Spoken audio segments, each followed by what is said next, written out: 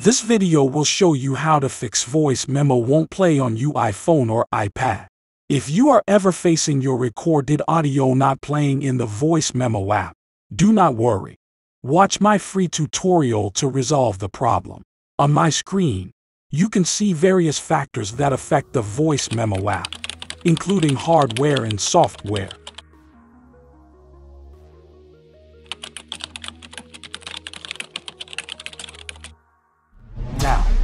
Try each solution and let me know in the comments which one worked.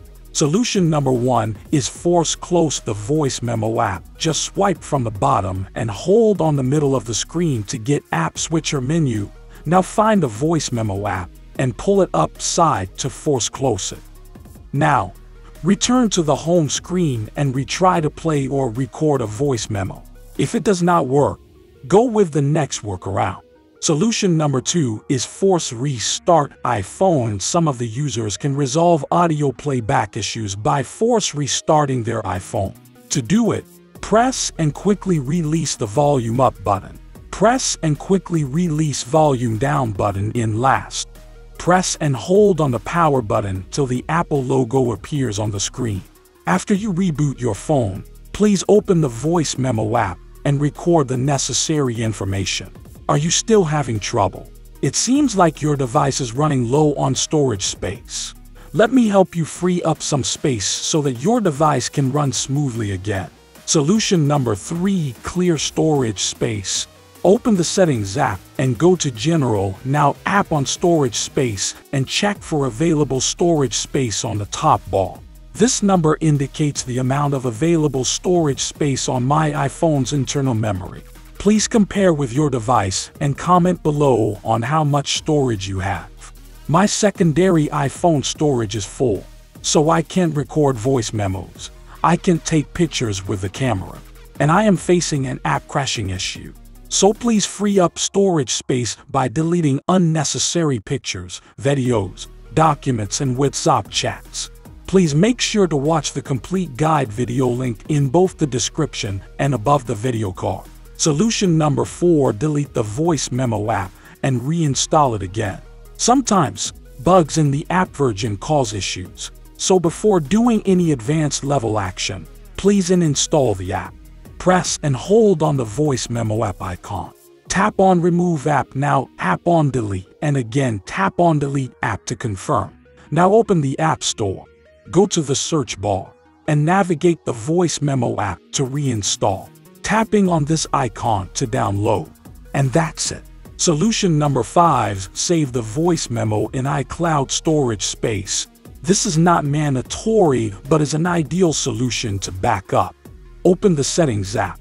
Click on the Apple ID profile and select iCloud and go with Select All option. Now scroll the screen to enable the voice memo toggle to automatic backup to cloud storage. It means store on the Apple server. If your iCloud storage space full, watch my video given on the above video call to make free up space in an iCloud setting. Solution number 6. Turn off low power mode. Rarely, some services can't work as we expected if the low power mode toggle is on. So please go to the battery setting and make it disable and check whether the voice memo app is working or not. Solution number seven, turn on the background app refresh for voice memo. One of my friends had turned off background app refresh for the voice memo app. However, after enabling it, the app worked more smoothly. To do so, open Settings app, find General, tapping on the background app refresh and scroll the screen to turn the toggle on next to the voice memo app. That's it. Now check your audio recording app working or not. Furthermore, you can also try the best audio recording apps for iOS, which is given on the above video card. Solution number 8 Update the voice memo app. Sometimes, app developer code glitches may be the reason some apps don't work properly. So check for the latest update for the voice memo app. In addition, the voice memo app is a default app. So if you update your software, the all stock apps will update it automatically.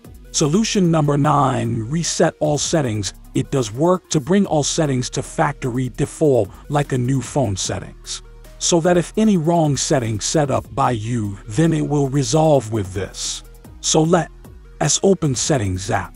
Scroll to General and scroll down the screen all the way to tap on Transfer or Reset iPhone tab. Go with Reset and click on Reset All Settings.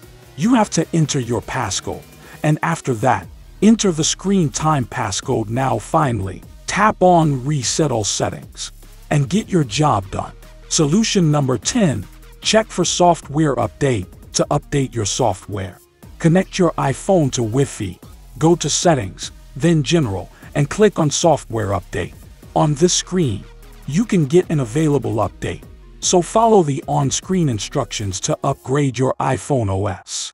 If you have the latest update, then ignore this solution and go with the next one.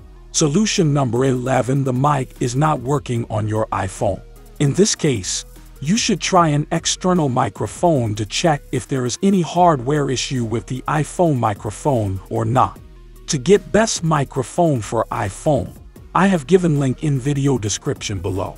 Bonus tips audio IC is the main factor. Various symptoms may arise on an iPhone if the audio IC is faulty on the hardware. For example, grayed out voice memos icon, issue with audio during voice calls, Siri doesn't respond, and a grayed out loudspeaker icon during calls. Please visit the nearest Apple store or go to the authorized service center to diagnose the issue. To locate an Apple store nearby, click on the link in the comments section below. Friends, I hope you liked this video. Share it on your social profile to help your bodies. Thank you for watching.